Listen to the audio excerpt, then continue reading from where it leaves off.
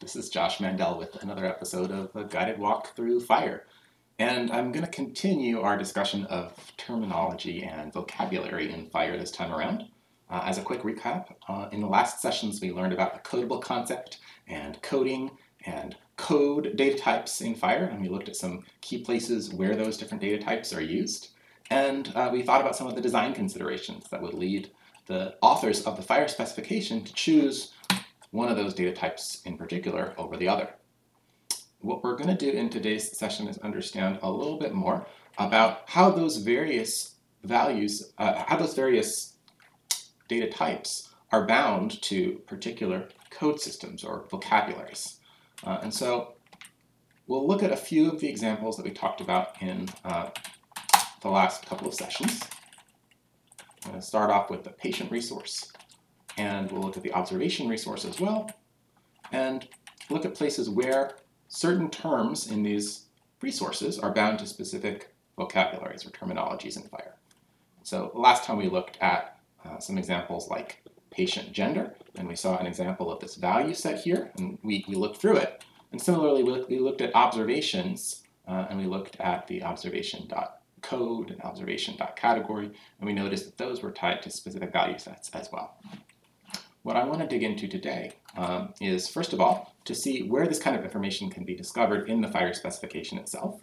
Uh, and so, yes, when you're reviewing one of the data models in FHIR, this description and constraints column has lots of good information um, about where and how different coding systems are used.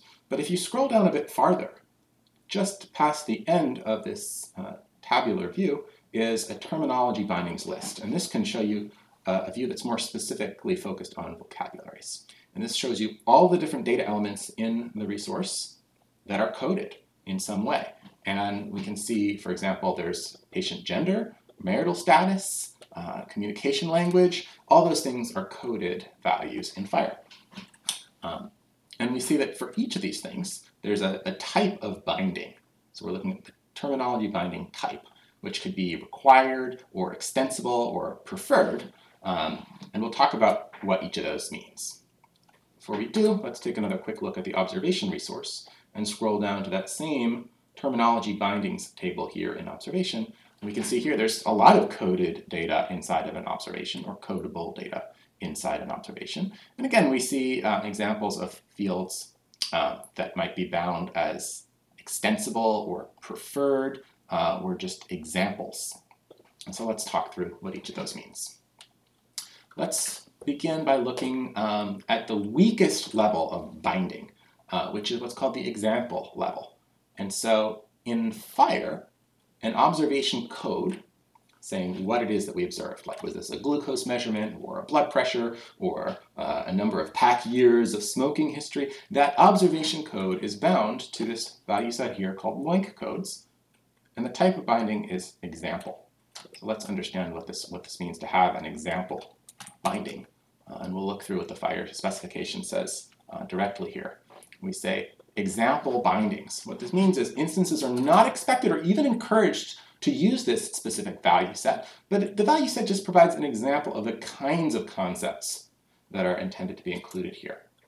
Um, and what the FHIR spec says is these example bindings are used when the element uh, has a really broad meaning and we don't have a very strong consensus over what specific vocabularies um, should appear there.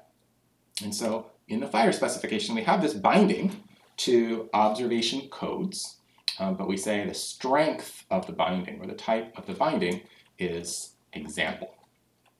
Okay, so we know that LOINC codes are an example of what could be used in observation code.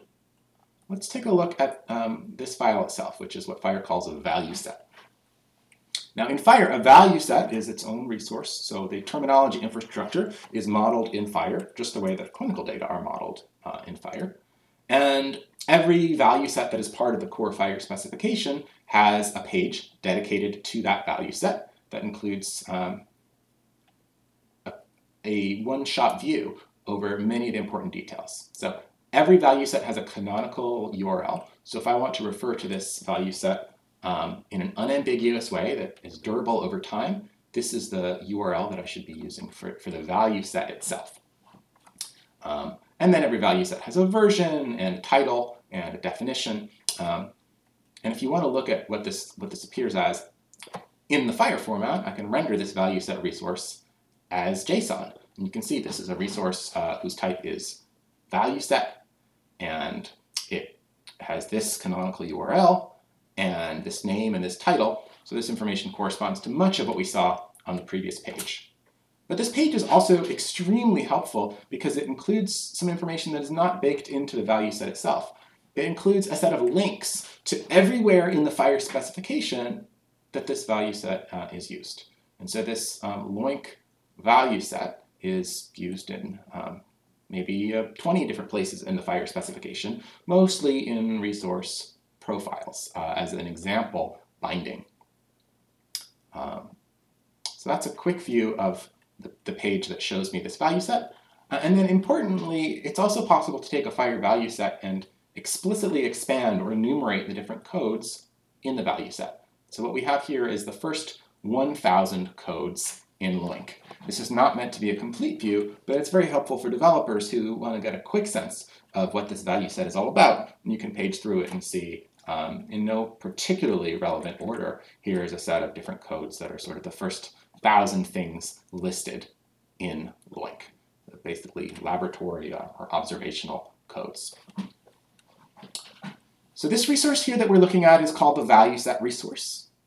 It's one of FHIR's terminology resource types. There's one other very important resource type that has to do with terminology that I want to point out at least briefly, um, which is the code system resource.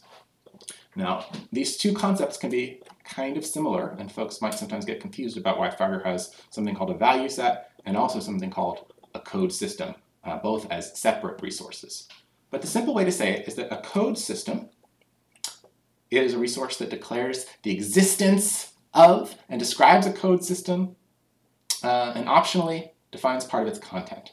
And so these are systems that are maintained by some organization that define a set of concepts together as a unit. So for example, um, LOINC defines a set of codes, and you could think of all the LOINC codes in the world as being the LOINC code system. And you can represent that in FHIR using the code system resource. Uh, similarly, you could think of all the SNOMED codes in the world as being a code system and represent that using the FHIR code system resource. But code systems are about declaring that a set of concepts all exist.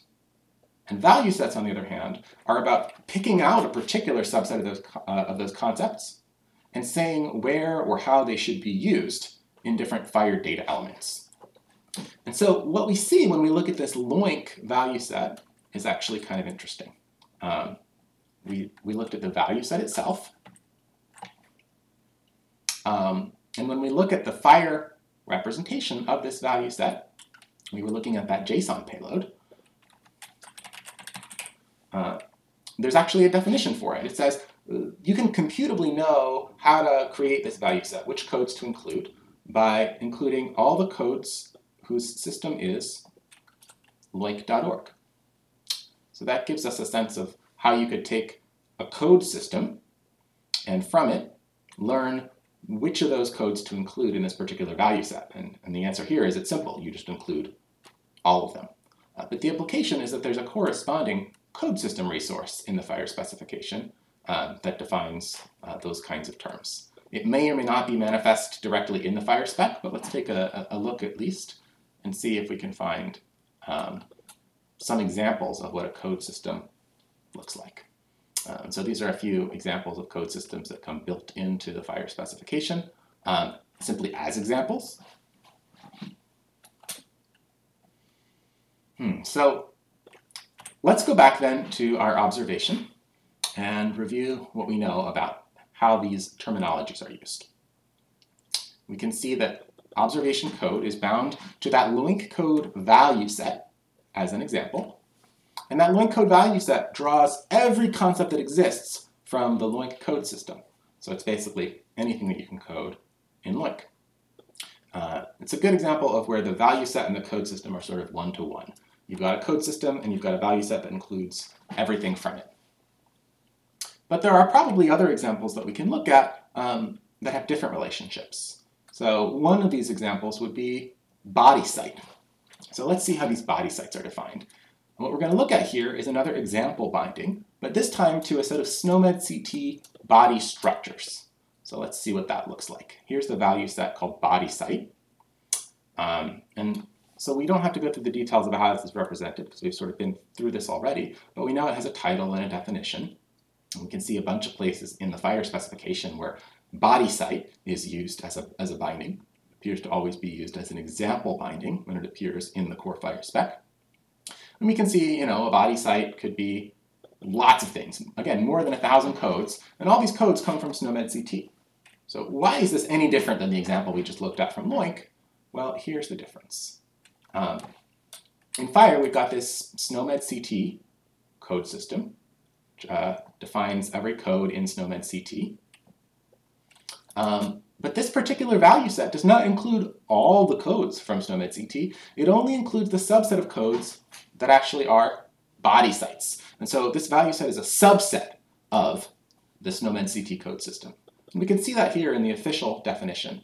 We compose this value set, set by including not every SNOMED code, but a filtered subset of SNOMED codes, uh, specifically things that are, are um, sitting below this particular concept in the SNOMED CT hierarchy. And I think this concept is probably anatomical or body site. If we just Google for this, we may be able to find a, a quick answer. So yeah, that's the root concept in SNOMED CT representing a body structure. So that's an example where the value set itself doesn't correspond one-to-one -one with a code system, but it represents a subset of the codes uh, in a code system. But value sets don't need to come from a single code system.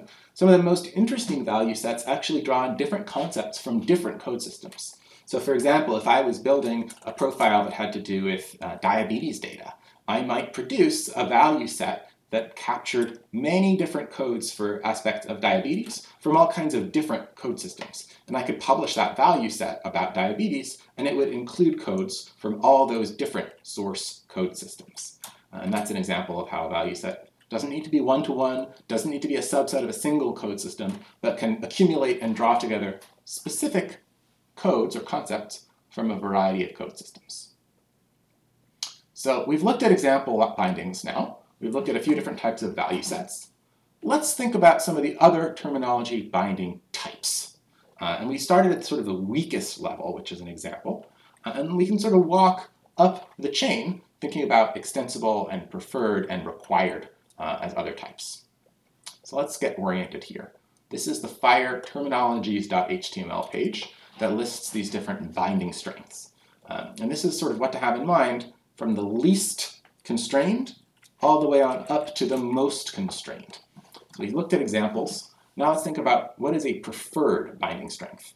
Uh, so this preferred binding strength is used in the FHIR spec uh, in places where you want to encourage instances to use the concepts from a particular list. So it's a stronger statement than just these are examples. It says these are, these are good examples. These are practices that you should follow, uh, but you're not required to use codes from this preferred um, binding. Extensible is a bit stronger, uh, and this is kind of a subtle one. Uh, let's just look at the headline here. So extensible means that the concept here shall be used, shall be drawn from the specified value set if there is something applicable in the value set. And so it's kind of a, a funny conditional requirement. But an extensible binding is stronger than preferred. It's not just that you should use a, a code from this value set, it's that if there is a relevant code in the value set, then you must use it. And only in the case where there's nothing in the value set that sort of serves your purpose, well then it's acceptable uh, to use a, a, concept from outside of the value set. Um, and then there's some interesting key language here which says this sort of idea of if the value set doesn't cover the concept based on human review. Uh, so it can be very difficult to know whether a specific uh, concept in instance data is conformant with this extensible binding or not. Uh, if it comes from the right value set, then you know it's conformant. Um, that's easy. If it doesn't come from this value set, well, that might be because there is no concept in the value set, in which case that's acceptable. Or it might just be somebody wasn't aware that there was a good code, or somebody uh, was lazy, or somebody just chose not to use this value set, and that would be considered an error in FHIR. So that's what an extensible binding means. Uh, and then finally, there's the, the required binding, which is the strongest. Uh, and this means that uh, instances shall use a value from this set. There's, there's no, really no choice about it. The value set defines the entire uh, set of options that you've got.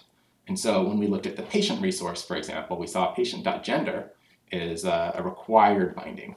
And very typically, when we see these required bindings, we'll be talking about uh, an element that appears in FHIR as a code. You don't need all the extra metadata about systems or versions uh, that you get from things like the concept or, or codable concept data types because there's only ever one choice. And so that's why we'll typically um, use the code data type when we see a required binding in a core element. In general, when FHIR workgroups or HL7 workgroups are building out these binding decisions in the specification, the goal is to use the highest level of binding that we can get consensus for. And so if it's possible to get agreement worldwide for all use cases about one restricted value set, we'll go ahead and make this a required binding. Uh, it's pretty unusual. There's, there's really not that many fields in FHIR that have this level of binding, but it's very valuable when we can get it. Extensible has to do with when we think that there's a, a value set that is really the best option to use, uh, but it might be incomplete. Uh, and preferred is really just a nudge. An example isn't even a nudge. Often what you'll see, though, is a set of bindings that are defined one way in the core specification and another way in an implementation guide. So let me show you an example of that. Um, here in the core specification, we, we've looked at observation.code, and we saw that it was an example binding to this value set of LOINC codes. Now let's look at the FHIR US core profile on this observation resource. Here's FHIR US core.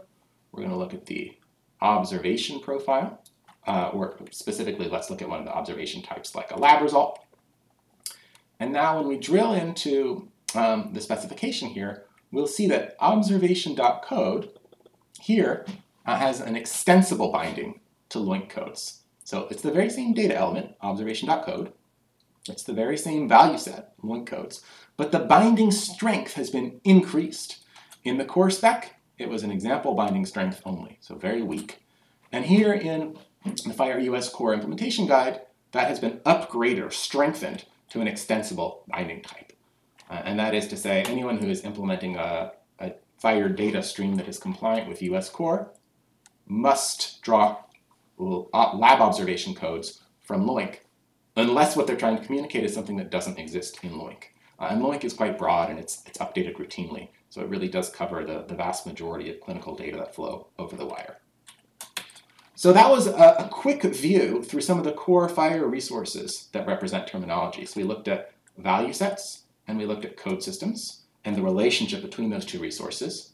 And then we looked at binding strengths the way that a value set can be attached to a specific element in FHIR, uh, and thought a little bit about how FHIR work groups and, and how different profile authors use these tools to establish as much agreement as possible um, and drive towards as much consistency as makes sense for the communities that are using these different resources. So there we'll wrap up our session on terminology.